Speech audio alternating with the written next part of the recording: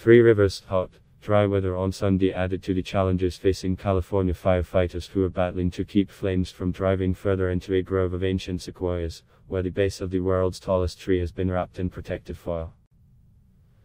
Fire officials warned that stronger winds were also contributing to critical fire conditions in the area of the Nopte complex, two lightning spark blazes that merged on the western side of Sequoia National Park in the Sierra Nevada.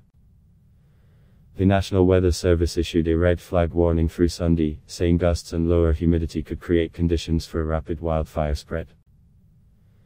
The fires forced the evacuation of the park last week, along with parts of Three Rivers, a foothill community of about people. Crews have been bulldozing a line between the fire and the community. More than 34 square miles, 88 square km, of forest land have been blackened.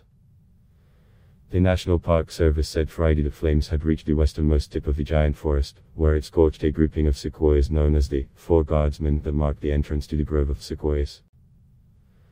Firefighters wrapped the base of the General Sherman tree, along with other trees in the giant forest, in a type of aluminum that can withstand high heat.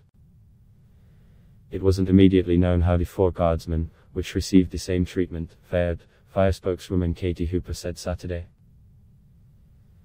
The General Sherman tree is the largest in the world by volume, at cubic feet, cubic meters, according to the National Park Service.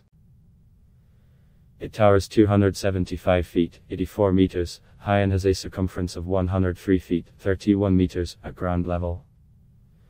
Firefighters who were wrapping the base of the sequoias in foil and sweeping leaves and needles from the forest floor around the trees had to flee from the danger on Friday, Hooper said. They returned Saturday when conditions improved to continue the work and start a strategic fire along General's Highway to protect the giant forest grove, Hooper said. Giant sequoias are adapted to fire, which can help them thrive by releasing seeds from their cones and creating clearings that allow young sequoias to grow. But the extraordinary intensity of fires, fueled by climate change, can overwhelm the trees. Once you get fire burning inside the tree, that will result in mortality, said John Wallace, the operations section chief for the Nopte complex. The fires already have burned into several groves containing trees as tall as 200 feet, 61 meters, feet tall and years old. To the south, the Windy Fire grew to 28 square miles, 72 square km, on the Tule River Indian Reservation and in Giant Sequoia National Monument, where it has burned into the Peyrone Grove of sequoias and threatens others.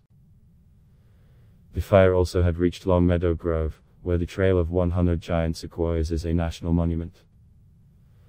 Fire officials haven't yet been able to determine how much damage was done to the groves, which are in remote and hard to reach areas.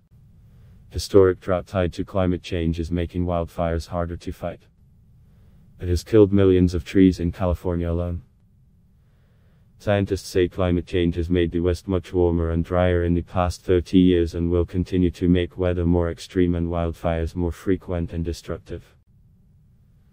More than wildfires in California this year have damaged or destroyed more than homes and other buildings and torched well over square miles, square km of land, according to the California Department of Forestry and Fire Protection. I block test why.